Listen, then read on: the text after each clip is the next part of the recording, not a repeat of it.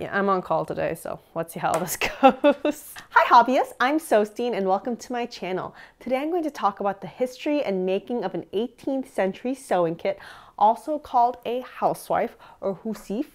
And FYI, I've seen a lot of different spellings of this over the years, so I'm just gonna call it a housewife for the sake of this video, uh, just so that we can be consistent, but it's been called a lot of things, including a hussy. So let's just start with the simple questions. What is a housewife? Now, you may know it as, you know, a woman who stays at home and takes care of the family, but it's an older word for sewing kit. Even if you look at a modern dictionary today, you'll see that the second definition of housewife reflects this. In the past, it was referred to as a portable sewing kit. It's not the most thorough of definitions, but it's definitely something to work from. Let's take a deep dive into history, going all the way to 1740s to a novel called Pamela or Virtue Rewarded. This is one of the very first novels ever written and is often considered the first true English novel. It's an epistolary novel following the story of a servant girl who is pursued relentlessly by her boss, never mind that she's only 15, who is creepily all over her, but then she ends up winning him over with her virtue. In any case, let's skip ahead in this novel to volume 1, chapter 32. So I went towards the pond, the maid following me, and dropped purposefully my hussy and when I came near the tiles, I said, Mrs. Anne, I have dropped my hussy. The maid finding the hussy, I took it. The fact that the term hussy is used here highly suggests that the term housewife was already in use by the time this chapter came out, since this novel was designed to be understood by the common reader. These portable sewing kits were frequently carried around by soldiers, sewn for them by a sister or a beloved family member frequently, so that they could mend their own uniforms while they were on the battlefield. This became such a common definition for the housewife that the Collins Dictionary defines the secondary definition of the word housewife as exactly this. According to the Dreamstress, who's done a significant amount of research in the history of the housewife, an 1855 investigation into the poor performance of the British Army in the Crimean War pointed out that the Russian soldiers all carried husifs, and that if the English army had done the same, English soldiers would not have been in rags at Sevastopol. In fact, in World War I, it was quite common for women to sew together housewives to send to soldiers on the front. And you could see one of these examples here. Now that we know the history of the word, and just that's cool trivia, let's talk about actual 18th century housewives. First and foremost, what did these 18th century housewives look like? They generally look like long rectangles that can be folded up a couple of inches wide by about 17 to 18 inches long. A few of these still exist today and have gone for auction in different auction houses. We even had the housewife of Abigail Adams and has beautiful embroidery on it. Honestly, these housewives, I think they're pretty gorgeous. I love that they use scraps, but frequently they're so beautifully embroidered. Like this one, you could see all the gorgeous stitching for the flowers. And then you have these ones.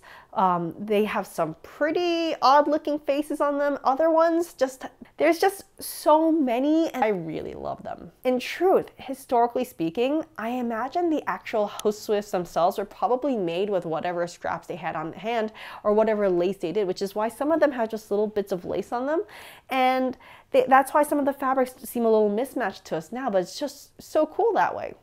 That being said, there are some records of some phenomenally expensive and beautiful housewives as well. For instance, Louis Bazalgette, who lived from 1750 to 1830, was the tailor of the very ridiculous Prince Regent turned King George IV himself, and he records a housewife of his own. To a striped silk housewife filled with colored silks, threads, needles, and thimble for the pages. Now, the pages were expected to perform running repairs to the royal wardrobe, so they would have been using these quite frequently. But what I'm seeing is that at heart, they reflect the people who use them and were designed to be useful for that specific person who is making them. So I do wonder what they put into different pockets and what they design them for. For instance, for the life of me, I have no idea what they put into these long pockets and what these numbers mean. I have no idea, but it's pretty cool. And I bet it's like just lost to time. Generally speaking, in the past year or so, making these have been all the rage in the historical community, with people making them in all sorts of fabrics and prints and colors and designs. And people also sell kits for them. Lady Detalle, uh, one of my friends, along with offering gorgeous jewelry, sells some amazing housewife kits. And I personally used her pattern and directions to make mine. Willoughby and Rose sell some gorgeous kits inspired by the remnants of different historical costumers and also sell some beautiful ones inspired by different fandoms like Star Wars, including this one, which has an awesome like Star Wars wax, you know, since you need to wax your thread. Now, for me, of course, I went directly to the embroidered variants because it's me. For mine, last year I made this grape one based on the embroidery that I'd had on my grape dress and I just thought it would be a really cool housewife so this is what I stitched together and I um, it's I used remnants from other gowns. But this year, I wanted something different in a new housewife since while this is great, I found that some of these, it just didn't work all that well. It's not quite wide enough for all the different tools I want to put in it, so I wanted to make it again. Now, before I talk about designing and making my new housewife, I'd like to take a moment to thank today's sponsor, Skillshare. If you've watched anything by me before, you'll know that I'm personally really into learning new things and consider myself a lifelong student. Skillshare is an online learning platform that has thousands of different classes that you can take. These classes come in a myriad of different topics as vary from making pizza to how to draw faces and cartoons to animation to how to use specific cameras to film and honestly anything you can possibly imagine. Right now, I'm taking several classes on how to use my new camera more effectively, as well as one on filming in general. One class I'm taking is how to film solo without the FOMO. Filming Tricks for the One Person Crew by Dan Dan Liu, and she goes over what you need to do to film by yourself the way that I do. I love that this class is really short, so I could take the whole thing in one half hour while my son is taking a nap. But even longer classes are broken down into smaller chunks, 10 minutes or less, so that I can learn in bite sized pieces that are never overwhelming for my busy day. The first 1,000 of my subscribers to click the link in the description will get a one month free trial of Skillshare so you can start exploring your creativity today. Thank you so much Skillshare for sponsoring this video. Now, several people sent me the link for this beautiful pouch from the 1830s in the collection of Cooper Hewitt Museum with some exquisite strawberry embroidery. You may recognize the strawberries because I took that motif and put it on my strawberry dress last year. And personally, I think it's just such a lovely motif that I've been putting it on everything from reticules to, guess what, housewives. Now let's talk about this particular original pouch. Honestly, I think there's a good chance that the original pocketbook, as Cooper and Hewitt calls it, was actually a housewife. The Cooper Hewitt lists the dimensions of this as approximately 6 by 17 inches, which I don't see how this can be that long unless it extended downwards quite significantly, such as for a housewife. Honestly, I wish I could see how it looked on the inside, but as I don't have any further images of this, I went with what they had online. What I did first is I digitized these strawberries as is, and you can see it in my video about how to digitize. For the exterior of the housewife, I wanted to put three other images. So I took the border of the original pocketbook and put in other images that I've done in the past and just pop them in regardless of whether or not they really matched the theme of strawberries because let's face it, it's mine and I want it to reflect me and the things that I'm proud of. And in particular, I was very proud of these cranes that I did based on a uh, Korean embroidery. And I also want popped in my dogs because what says Masosine more than fluffy white dogs? So this 18th century Korean crane is something I'm really proud of because it is based on actual Korean rank badges. And of course my dog I'm really proud of because it's my dog, Gideon. I then started stitching this out.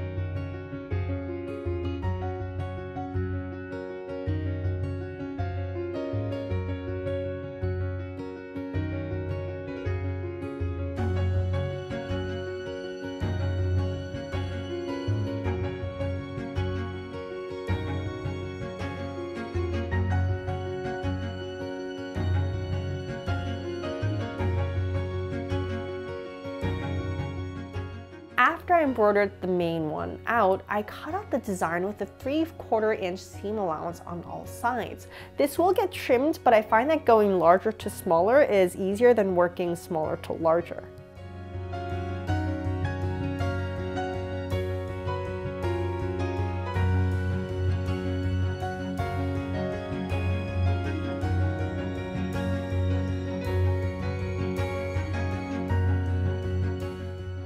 I got a piece of wool broadcloth or flannel or whatever I have in the house since it really just won't be visible at all, but something really kind of tightly woven and a piece of silk for the inside.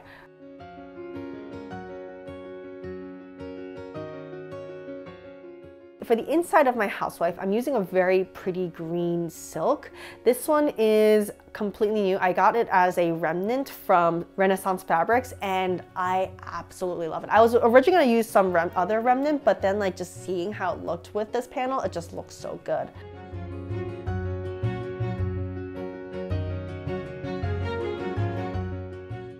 I then pin these together, the silks on the outside, the right sides pointing out, and the wool sandwiched in between the two layers of the silk. I pinned it all together and then went to my Baby Lock Soprano and stitched it out with a 2.5 millimeter stitch about one quarter of an inch away from the design edge.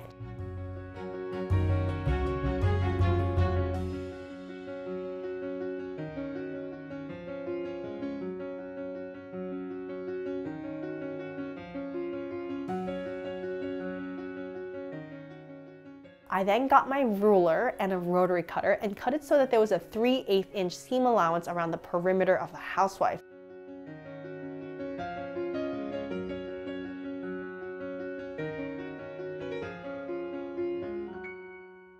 So for my pocket, what I did is I actually cut out the pocket and just kind of trimmed it. Then I brought it to my iron and ironed down the top flap. I actually use heat and bond hem tape to just kind of glue down the top. I actually find that it really gives a little bit more stability because the glue really just kind of stiffens it. So I personally really like it for pocket edges when it comes to housewives. I then pinned it to the bottom most of the housewife and then I stitched it down as well. I'm actually supposed to do this before I stitch the rest of it down, but you know, shh, it worked. Please note that these edges will all be covered by the binding, which is next. At this point, you can just use pre-made bias tape, but I prefer to use silks so it could match. So I cut a 1.75 inch wide piece of silk, folded the, and ironed down 3 eighths of an inch away from the raw edge along the whole length of the tape, and ironed down a half inch seam allowance at one end. I then pinned that folded edge right side to right side to the housewife, raw edge to raw edge, matching up all the raw edges and started pinning it down. I like to pin one side at a time since I do mitered corners by the machines. To do the mitered corners, it's surprisingly simple to do on a machine. I sew until I'm about half inch away from the corner and then go back and forth, cut the thread, and then take it off my machine. I then fold the silk at a 45 degree angle away from the corner and then fold it back now the right way towards the next edge. I then start sewing again, this time again starting half an inch away from that mitered edge and then go to the next corner and then repeat this all over again. I did this for all four corners, including the corners that were greater than 90 degrees. It's about the same idea.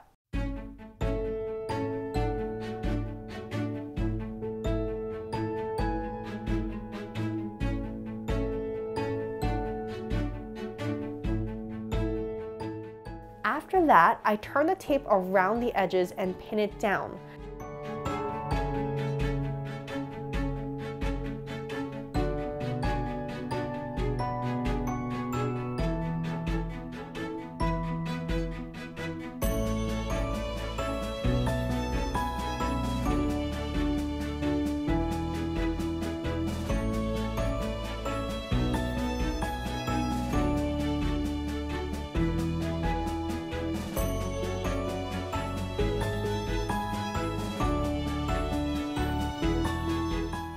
And I sew it down on the inside, being sure to use tiny stitches that can only minimally show up. I do about five to six stitches per inch and I often toss in about three or four extra stitches on each mitered corner to keep it nice and neat.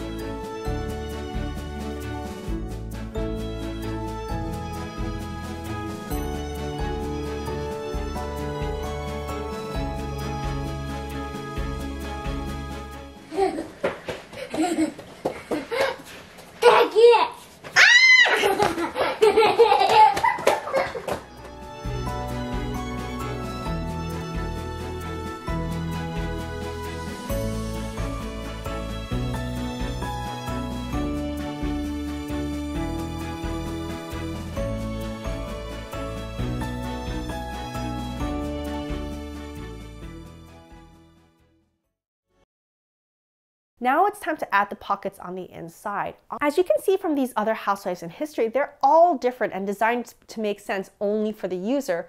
So I'm gonna do my personal favorite layouts, which includes pockets for scissors and thimbles and a, and a smaller pincushion, but a large pocket for the goodies I use every single day. The big pocket is already on, Let's start with the scissors pocket. To be honest, just having it be made out of silk would be way too flimsy and the scissors would just rip right through the silk. So I get a piece of wool and cut it to a scissor-like shape.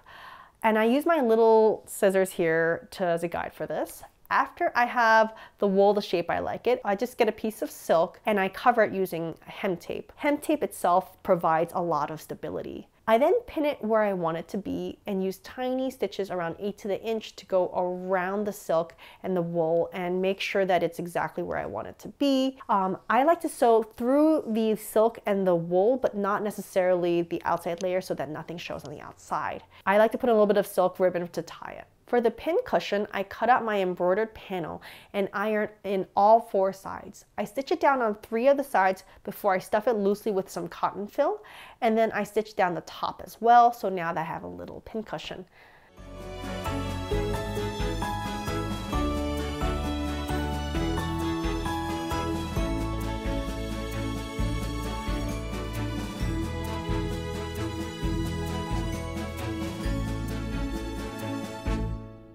For the thimbles pocket, I cut up the small pocket and I use hem tape for one edge of it and then iron down the other three edges and I pin it where I want it to go and just sew it on on the three edges.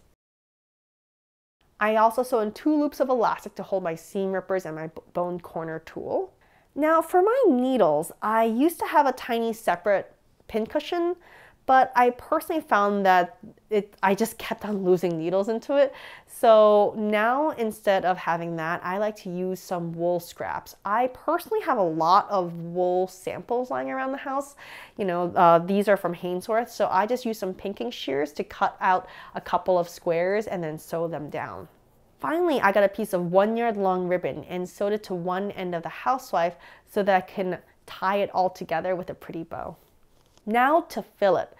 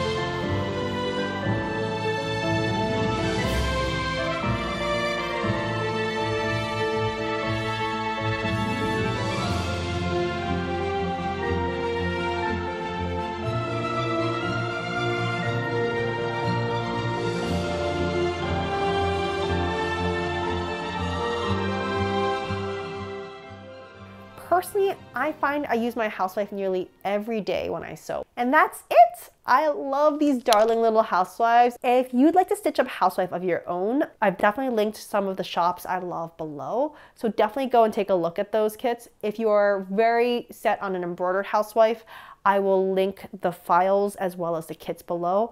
I will probably only have a couple of kits for sale right now because I'm pretty busy, but I'll list a couple more, especially as it gets closer to the holidays.